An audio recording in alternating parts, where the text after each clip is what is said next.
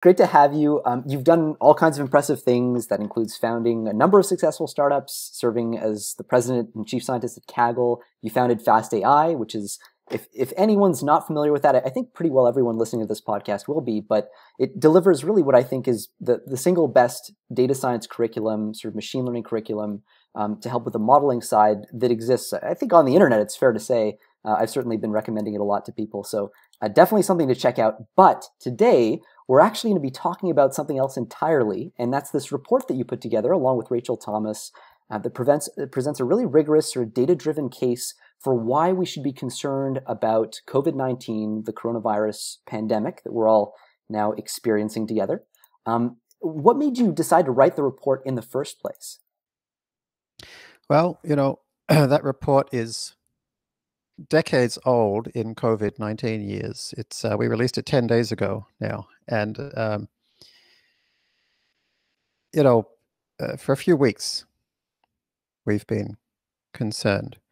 And we were concerned because we saw, you know, we're, we're data scientists. And, uh, you know, so we looking at the data, we saw this, uh, this epidemic that it was coming along out of uh, China, where each person that was infected would infect somewhere between around two and four others, depending on the place. This is that R naught value. This is R naught, yeah.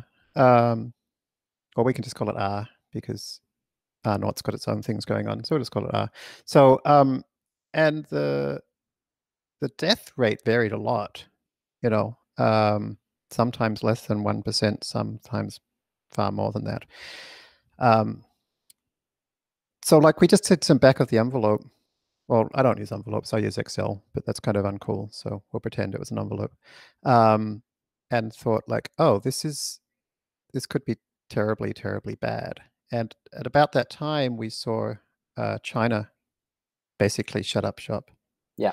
And, you know, China's an interesting country because, I mean, they did some things that were less than ideal, to say the least, like arresting the whistleblowers who told them about this and censoring any mention of this on social media. Suboptimal. Uh, yeah, suboptimal, but, you know, that's kind of, that's their way. Um, but the other thing I'll say about their way is that they're um, their leadership is full of scientists and engineers. And um, when they decide to basically shut down their economy over at a point when there was like what 50 cases or something yeah. or you know uh, in wuhan we thought okay they they see it too and they will have done a lot more than a quick excel spreadsheet um, and then we kind of look and then we thought like okay well what's this going to look like in the us um, which you know, as a Canadian, you're lucky enough not to know how incredibly bad our healthcare system is here. But it is, um, you know, it's run for profit. Um, there, which means there's no kind of fat in it. You know, there's no space to look after people in a pandemic, and also, you know, leadership at all levels here is not does not come from the technical population. It largely comes from kind of lawyers and lobbyists and full time politicians. So we were super worried that um, the response would be too little, too late. And the the, the biggest issue was um, for you know, however sick we all are of hearing about exponentials. Uh, you know, I, I uh, taught for a number of years at Singularity University, which was basically all about looking at the impact of exponentials.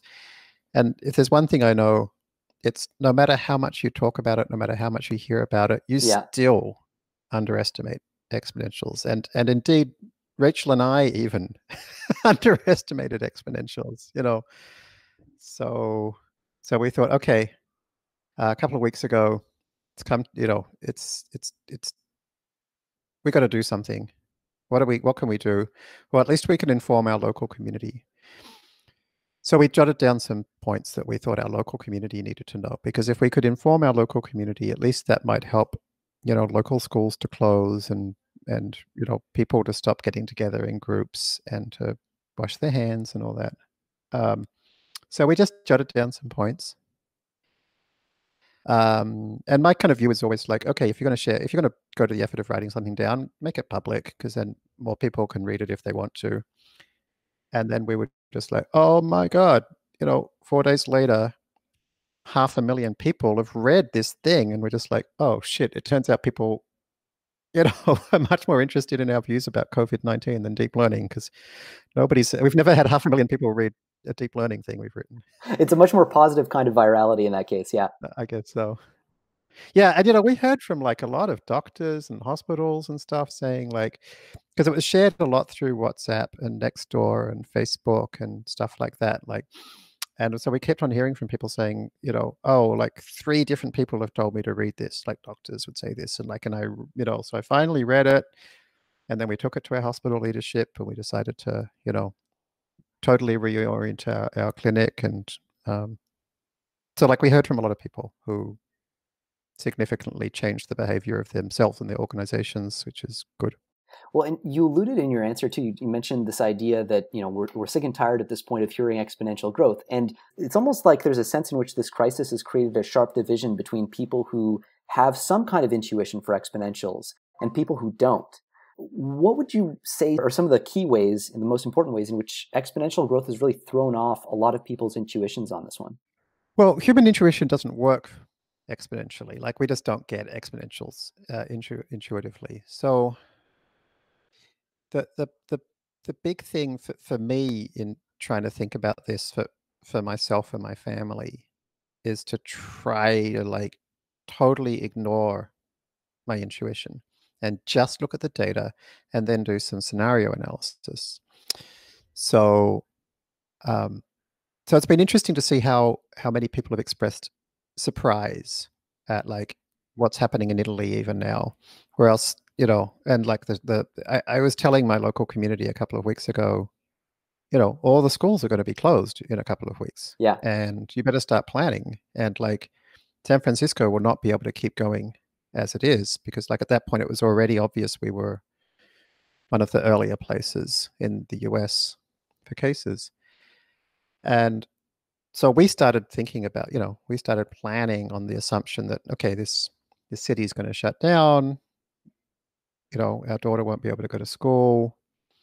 Um, but it was, it felt, it felt wrong. Yeah. You know, but nobody else was doing it. Nothing was happening. You couldn't see anything. Um, and so like now, it, now is not the time to start using our intuition. Now is the time to keep doing that like scenario planning. So what's going to happen next?